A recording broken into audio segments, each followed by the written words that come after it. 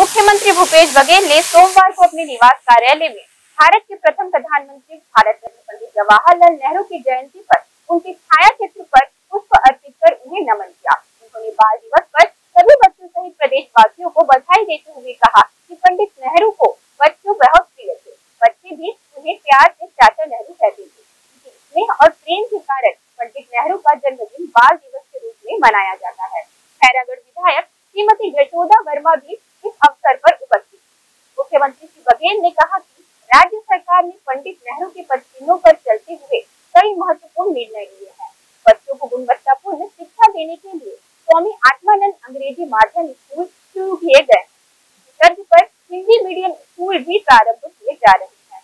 बच्चों में कुपोषण को दूर करने के लिए प्रदेश मुख्यमंत्री कुपोषण योजना शुरू की गई है। इससे लगभग दो लाख से ज़्यादा बच्चे